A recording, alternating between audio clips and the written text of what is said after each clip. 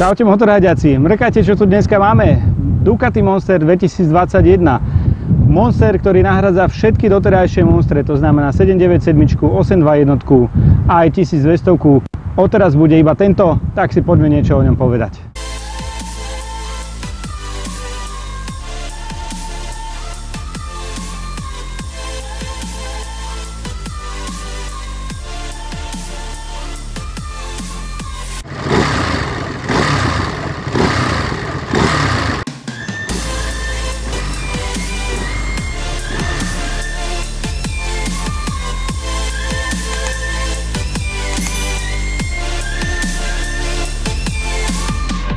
Rozhodne je čo povedať, pretože nový Monster má na sebe veľa noviniek, už má nový hliníkový rám namiesto toho ortodoxného, priehradového, rúrkového, ktorý sme poznali zo všetkých monstrov, alebo že má takéto nové sekvenčné smerovky, alebo napríklad, že podsedlový rám je od teraz plastový. Monster má vzadu obojstrannú kývku a aktuálne je to jediný Monster v ponuke Ducati. A to ma privádza k takým špekuláciám, že predsa len sa asi raz dožijeme aj Monstra V4, ktorý bude mať povedzme vzadu nejakú 200 gumu a riadny letmáč, tak ako sa patrí. Zatiaľ môže svet jazdiť na tomto a musím teda povedať, že rozhodne športovosť a zábava mu nechýba. V Monstriku vrčí známy motor Testa Streta, má objem necelý liter a 111 koní a 93 Nm.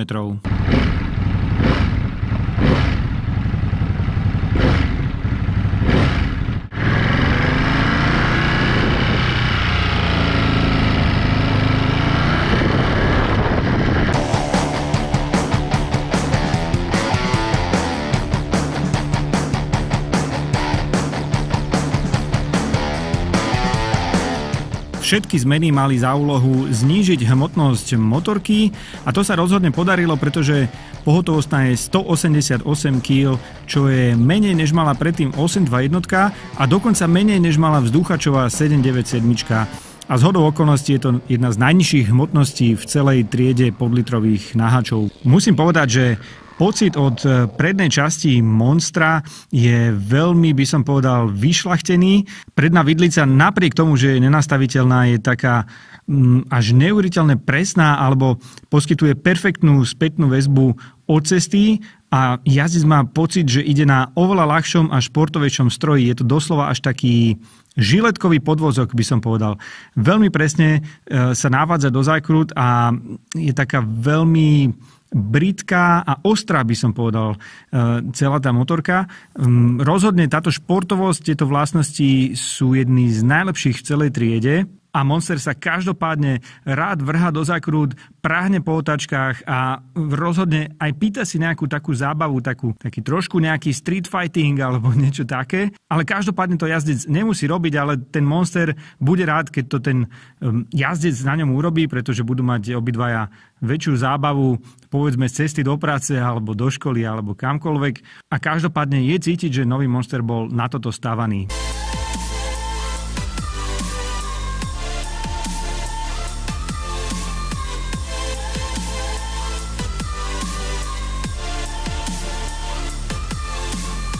Nový Monster má v sérii aj Quick Shifter alebo celkom širokú elektroniku vrátane Launch Control, no ale Ducati si za tento nový Monster nechá celkom zaplatiť. Základná cena je 11 790 a potom príplatok za verziu Plus, ktorá má aj také malé plexy a kryt zadného sedla je 200 eur. Treba povedať, že je to jedna z najvyšších cien e, v tejto triede podlitrových náhačov, ale zároveň treba zdôrazniť to, že Ducati Monster ti ako jediný ponúka charakter Elkového dvojvalca, všetko ostatné sú raďaky a zároveň, ako som už predtým hovoril, ponúka aj celkom určite také najšportovejšie vlastnosti a taký, také najväčšie porcie zábavy. On naozaj si nový Monster pýta nejaký ten street fighting alebo nejakú tú chuligánčinu na cestách a práve toho oddeluje od tej konkurencie a dá sa povedať, že ospravedlňuje do istej miery aj tú cenu. Takže grácie Ducati za takúto motorku. A zároveň ďakujem Bratislavskej predaní Ducati, že nám nového Monstrika